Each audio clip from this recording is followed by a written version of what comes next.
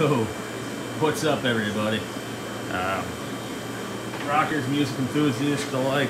Um, I know it's been a while since I did an upload. Like I said, I hardly ever mess with any stereo equipment other than when I'm listening to music for my own personal enjoyment. And it's summertime, and I'm too focused on my HVAC hobby, but uh, my vintage HVAC hobby to be specific. Um, however, a deal came up on Facebook Marketplace that I was not able to uh, turn down. I paid $25 for this. This is an Akai model CR-80T. And what it is, it is a uh, high quality Akai 8-track recorder with a built-in amp and an FM tuner. Actually, an AM FM tuner. That being said, I do not know if it works. It was, you know, uh, not tested as is, so I'm gonna fire it up. It's got some funky uh,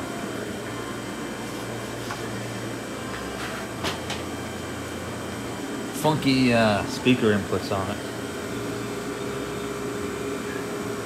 So let me make it quieter for a second.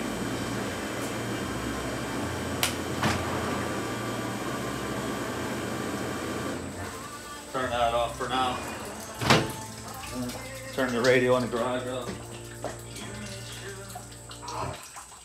All right, so basically what we got here is, um, yeah, it's got some funky speaker output. So they take an 8 ohm load, 50 hertz, 60 hertz as usual. This is your antenna connections over here. Oh, it's got a turntable input. That's pretty cool. I didn't even notice that. So this is basically a receiver. Uh, I'm not sure if this is, this is line input and line output. These are for your speakers. But I don't know if the line output is good, if you can hook speakers up to that. I think that's uh, up until I saw the switch on the front.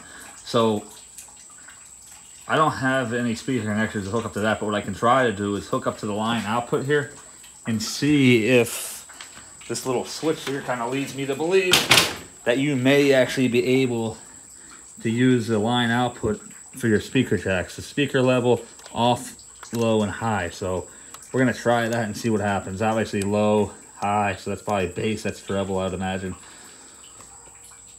So the amplifier section is pretty cheap, but like I said, it isn't Akai, so I expect some decent sound quality out of it at least.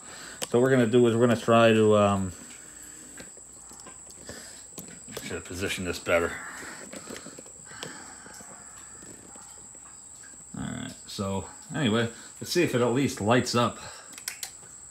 That's pretty wicked looking. I'm gonna do is we're gonna set it to 93 WMMR right off the bat. Um, you go get some, go get two speakers quick, a cartridge to test it with, and a wire to use as an antenna, and uh, we'll go from there. Catch these in a few minutes. All right, so this is what I got so far. The speaker level output seems to do absolutely nothing. So as you can see, in fact, that speaker there is not even Oh, there we go. Now we got it. It's 99.1. It's the area's strongest station.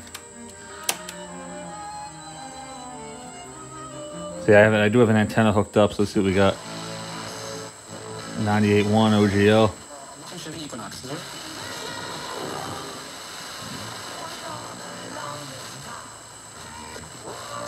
Billy Joel.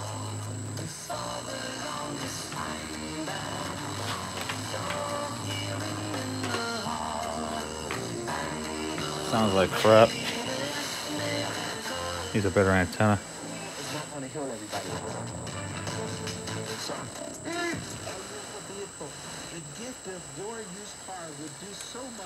That's MMR. So if I was actually going to use this, I would use this as a component piece and just hook it up to just a straight amplifier or maybe possibly a power amp and uh, being done with it. This doesn't see, yeah, this doesn't do anything at all. The only way to hook the hook speakers up to is get the proper speaker jacks that this unit requires. But I can still get a decent idea of whether if it works. Do more of what you love online with unlimited data.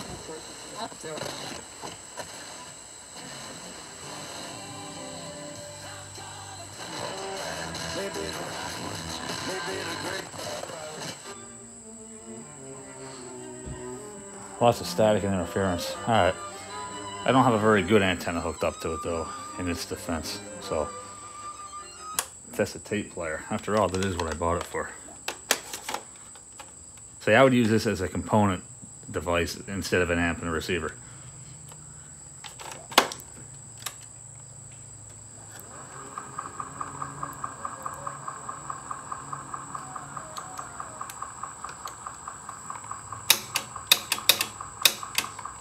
We're on track two.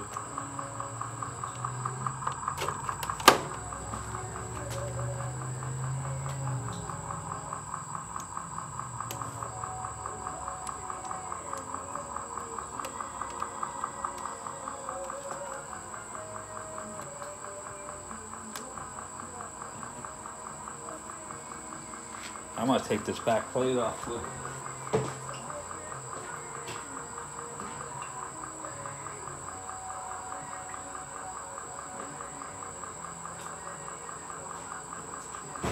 Think it's safe to say the 8-track player on it doesn't work correctly at the very least.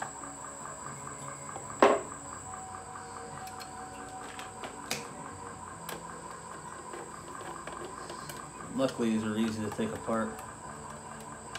Have this have this lid off in less than 30 seconds. Guarantee it.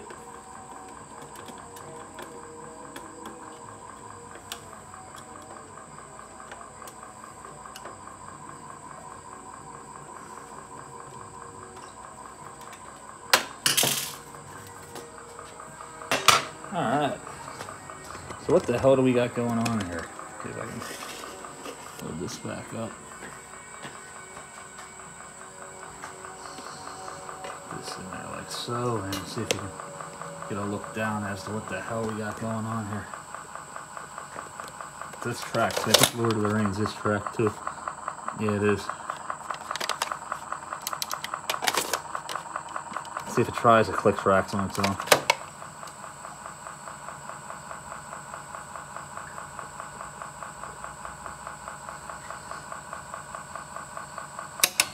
Okay, tried.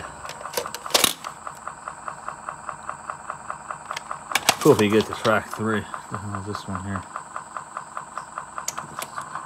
There you go. Oh, it's tape speed, never mind.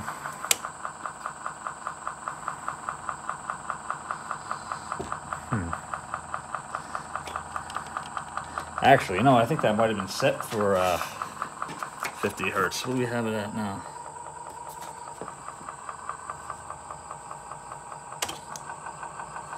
Fifty. Yeah, we needed it over here for sixty hertz. Okay, so that was correct.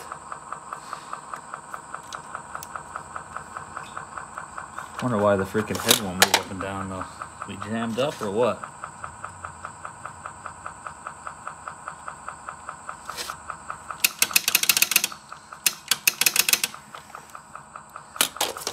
Ah, I got the track three. Eventually it will click. Leave it at track three. That's a good that's a good program anyway.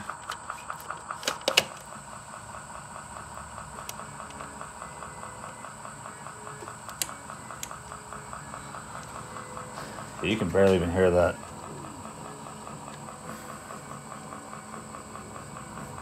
Alright. Well, we obviously got problems.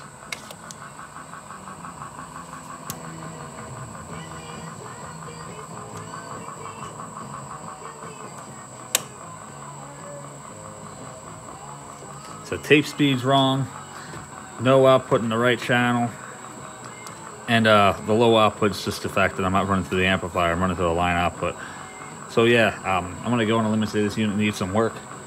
So for now, that's gonna be it. Like I said, until I get time to mess with it, which I got a few more months of heat yet, so I got some other projects I got going on. So I will catch you guys uh, once the cooler weather hits.